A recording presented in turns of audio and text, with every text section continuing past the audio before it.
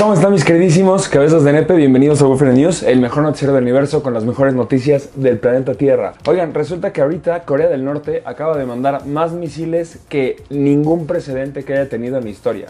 Ten en cuenta que yo la verdad no sabía, pero en los últimos meses nos han demostrado que una de las maneras en las que los países empiezan un conflicto es intimidando, pero no intimidando con amenazas, cosas directas, sino intimidando de la manera más menos atrevida del mundo, que es mandando misiles al mar sin decir nada y sin dirigirlos a nadie. Es como si quisieras pelear con alguien y en vez de decir, hey, ¿qué pedo? ¿Qué quieres pelear? Llegas y empiezas. Y, así lo tienes junto y empiezas.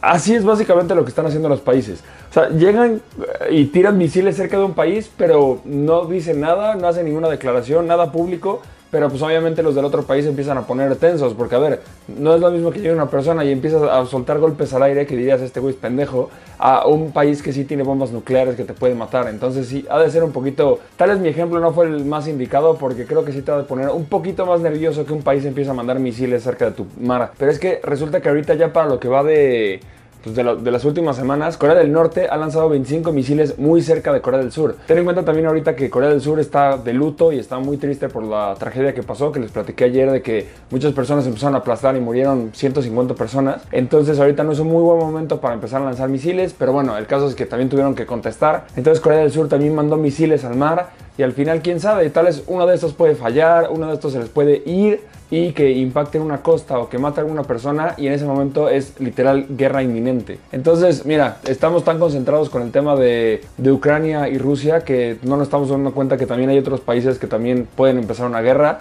Imagínate que al final empieza la tercera guerra mundial, no por el desmadre de Rusia y Ucrania, sino por otra tontería que pasó en otro lado, que es Corea del Sur y Corea del Norte. No tontería en el sentido de que, bueno, entendieron lo que dije, ¿no? Luego, Disney Shanghai, yo ni siquiera sabía que había un Disney ahí. Disney Shanghai acaba de encerrar a más de 400 mil personas, que por cierto, 400 mil personas en un parque es porque le va a ir bien, ¿no? Por el culpa del COVID. Esto parece 2020 y tal en este momento estás diciendo, otra vez otra noticia de 2020, qué hueva. Pero es que eso es justo lo que me llama la atención. Que a día de hoy sigan existiendo noticias de este tipo. Resulta que es porque China se tomó muy en serio la imagen mundial que tenían por culpa de que ahí inició el, COVID y que después se supo que tal vez sí fue que realmente se les escapó un laboratorio y no tanto lo que decían del mercado con el murciélago. Entonces yo creo que por eso como que actualmente siguen mostrándose muy preocupados por el tema, pero yo creo que es un tema más de dar una apariencia mundial que realmente les importa el tema y más a día de hoy. Pero el caso es que muchos visitantes, o sea, literal, miles, cientos de miles de personas estaban en Shanghái, en Disney, ya sabes, ahí conviviendo en los juegos mecánicos y todo, y de repente cerraron a las 11 de la mañana y hasta las 10 de la noche los empezaron a dejar salir, les tuvieron que hacer pruebas de COVID en ese momento. Imagínate la hueva de que tú dices, hoy es el día, ya pagué mi viaje, voy a ir a Disney Shanghái, llegas y te toca esperar casi 12 horas para que te una prueba de COVID y al final, pues bueno, ya vete a tu casa a dormir. Imagínate la hueva. Si, si ya sea que sea tu primer día, un día X o tu último día, imagínate de verdad la mala experiencia que te llevas. Y pues nada, para que vean que hay otros lugares que siguen tomándose muy en serio eso y para que pues valores que no haya pandemia o, bueno, no pandemia, sino confinamiento en tu país, porque la neta sí que hueva. Luego, los policías peruanos acaban de ser famosos, hay que aplaudirles en el resto del mundo. Si estás viendo este video en cualquier otra parte que sea de Perú, igual si estás viéndolo en Perú, un saludo cre cre. Pues eh, resulta que ahorita están haciendo virales cuatro policías de Perú porque se disfrazaron de los Avengers para poder capturar a una banda criminal que tenía cientos de bolsas con, con drogas, armas, niños, o sea, una banda de verdad poderosa porque se disfrazaron de Avengers. A ver, no es como que yo cuando empecé a leer la noticia dije, ok, deben ser policías que se quisieron disfrazar de Avengers como haciendo mano este, justicia por mano propia y empezaron una unidad eh, fuera del gobierno para poder capturar gente. Pero no, resulta que esta es una táctica que hace la policía literalmente, donde lo planean durante tiempo y aprovechan Halloween para poder disfrazarse y poder pasar desapercibidos. A ver, tú ves una persona normalmente caminando normal, imagínate que tienes una banda o tienes algo eh, turbio y ves de repente a cuatro personas medio disfrazadas, dices, algo raro está pasando, eh, mejor hay que salirnos o cuidarnos. Pero en Halloween ves a cuatro pendejos disfrazados de Avengers y dices, bueno, son, son los señores tetos que están ahí disfrazados y no pasa nada. Pero resulta que debajo de sus disfraces tenían chalecos antibalas o tenían armas, quién sabe qué tenían, pero el caso es que lograron eh, capturar a esta banda. Algo que de hecho pasó también en Perú, justamente en el 2020, cuando dos policías se disfrazaron de elfo y de Santa Claus también para poder agarrar eh, despistado a una persona. Y la neta está cagado, o sea, el hecho de que hayan tenido esa eh, como creatividad. Y esto es algo que yo siempre he dicho, siento que en Halloween específicamente la gente se puede disfrazar de asesino o algo así y realmente cometer crímenes y la gente va a creer que está disfrazada. Es como algo muy peligroso. Eh, son de esas cosas que te imaginas que podrían salir mal y quién sabe por qué no salen mal o por qué nadie, la, la gente no lo hace. Otra cosa que también me llama la atención, cambiando mucho de tema, pero también lo tengo que decir, es imagínate la persona que inventó el servicio a domicilio. O sea, la primera vez que alguien empezó a decir, oye, mira, llamas y sin pagar ni nada mandas a una persona, preparas la comida, mandas a una persona, haces que pierda tiempo y todo para llegar. O sea, si a mí me hubieras propuesto esa idea, te diría, imposible que eso funcione, la gente va a hacer bromas telefónicas todo el día y nunca va a funcionar. Y realmente casi nadie lo hace. Entonces, me llama la atención igual con esto. Creo que la idea de disfrazar a gente y que estén literalmente, o sea, imagínate, alguien comete un crimen en Halloween, imposible saber quién fue. O sea, todos con las, las caras tapadas, cámaras de seguridad llenas de gente, imagínate, nadie sabría. Entonces, eh, digo, estoy dando tales aquí ya ideas, pero siempre me ha llamado la atención. Pero bueno, afortunadamente se usó para el bien y no para el mal y felicidades a los policías de Perú. Luego, apenas un, ave acaba de batir el récord de 11 días volando sin, sin parar. Esto porque le pusieron como chip GPS para poder eh, saber de dónde a dónde viajan. Resulta que este es un ave que viaja desde eh, Alaska hasta Tasmania durante 11 días sin parar. No sé cómo le hace, no sé si no duerme durante 11 días o tal vez se encuentra como corrientes de aire para poderse quedar dormida en el aire, que eso también hacen a veces los halcones, en donde ponen las alas de cierta forma que se quedan como volando, pero debe ser bastante peligroso también. No sé si lo hicieron así, pero resulta que estas aves tienen las patas muy delgaditas, entonces no se pueden parar en el agua para poder volar de nuevo, entonces no pueden pausar. Y dicen que perdió más o menos, o sea que estas aves pierden más o menos la mitad de su peso corporal de tanto cansancio después de 11 días de estar aleteando. Es más algo muy tierno, la verdad, que hayan animales que, eh, que arriesguen tanto el físico por seguir su instinto y por hacer su deber, que es, ya sabes, aparearse o tener familia o alimentar a sus hijos, cosas así. Se me hace siempre muy, muy padre ese tipo de, datos y por eso lo quería mencionar. Por cierto, el, el ave se llama aguja colipinta. Eh, pero bueno, simplemente quería decir eso. Y ahora sí, a ver, hablando de lo de Twitter que quiere cobrar por la Blue Checkmark, he visto muchos creadores de contenido escribiendo a Elon Musk. Y no lo digo por el de, el de Rubius, de hecho el de Rubius me gustó cómo, cómo lo, lo, lo, escribió. Y de hecho Elon Musk le contestó a Rubius, pero no, sin hablar de ese, he visto muchos creadores de contenido y gente hablando de que es una estupidez que Elon Musk haga lo de cobrar por la palomita azul. Para quien no lo sepa, básicamente Elon Musk va a cobrar 8 dólares para que las personas estén verificadas, en vez de que ahora un famoso esté verificado por ser famoso.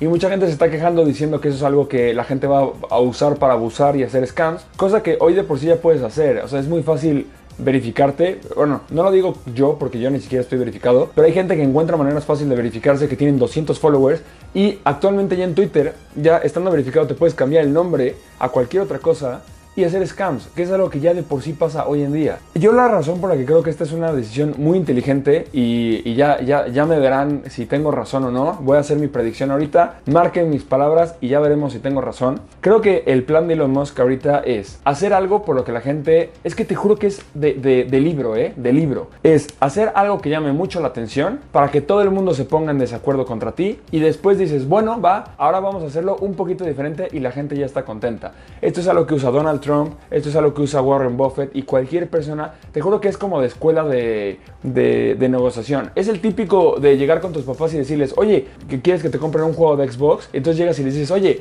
quiero una bicicleta para que te digan, no, ni madres, no, no, no, no. Y lo digas, bueno, quiero un juego de Xbox y te digan, bueno, está bien, ya no me está pidiendo una bici, me está pidiendo un juego de Xbox. Literal es lo que, lo que está haciendo. ¿Qué es lo que está haciendo ahorita cobrar por la verificación? Actualmente Twitter hay dos grupos. Está gente verificada famosa o gente verificada que es muy importante y luego todo el resto del mundo.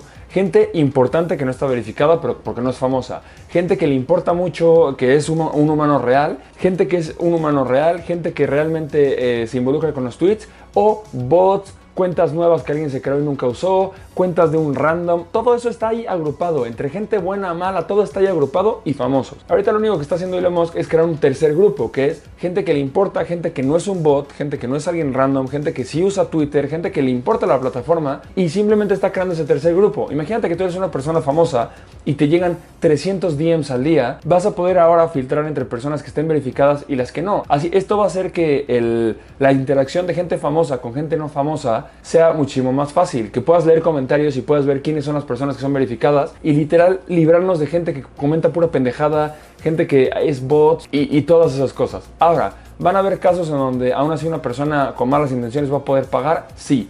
Pero aquí es donde yo creo que ese es su plan maestro. Primero está haciendo esto para que toda la gente se ponga en contra de esto, para que después diga, bueno, está bien, como ustedes lo pidieron, ahora sí también va a haber otra verificación para gente famosa. Entonces la gente que le estaba criticando al principio va a decir, bueno, ahora ya no, ya no hay que criticarlo porque está la gente que va a pagar, pero también está la verificación para gente famosa y todo el mundo va a estar contento. Te juro que esto es algo que hacen todos los políticos, todos los millonarios, es algo básico. Es como Donald Trump, ¿no? Dijo, vamos a hacer una muralla para que los mexicanos no entren. Entonces, todo el mundo lo empezó a criticar y empezó a decir es que eres un hijo de puta. La gente de la izquierda decía, no mames, es un dictador. Y la gente de la derecha decía, no mames, se pasó. Y luego que dijo, bueno, no vamos a hacer una muralla, pero vamos a subir el presupuesto para la seguridad de la, de la muralla.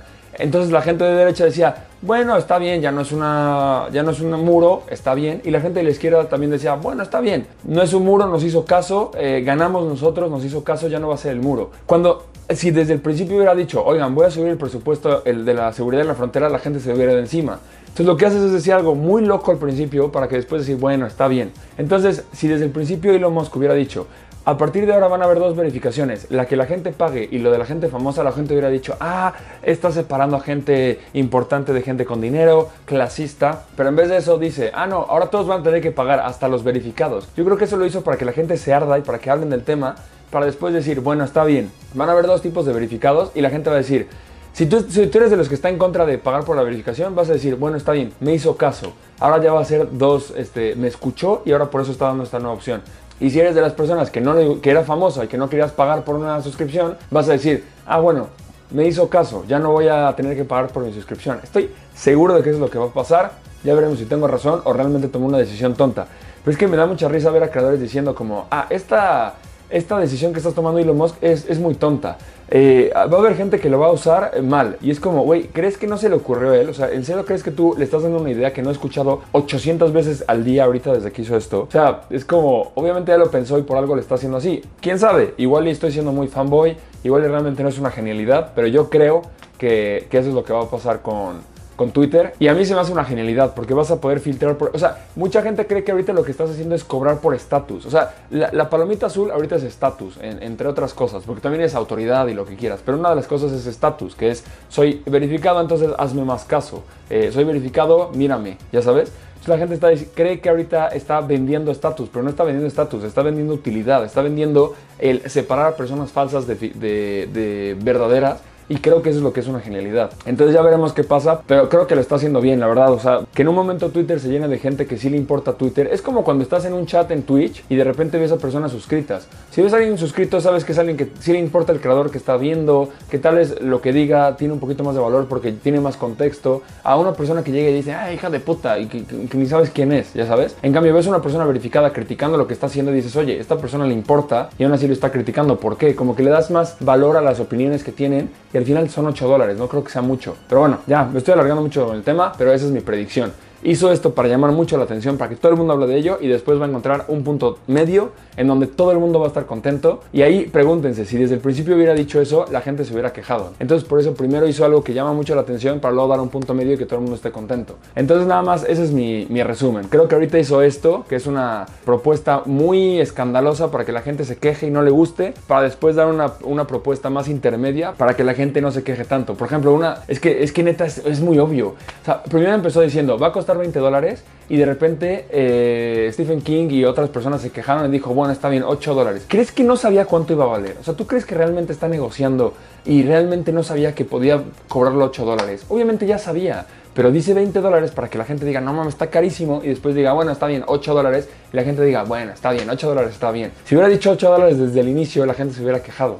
Entonces es muy obvio, todas las personas chingonas del mundo hacen eso y la gente sigue cayendo una y otra vez. Pero bueno, eh, otra película que, ya cambiando un poquito de tema, Avatar acaba de lanzar un nuevo tráiler de la nueva película que van a sacar y siguen diciendo que es la película más esperada del mundo y todo.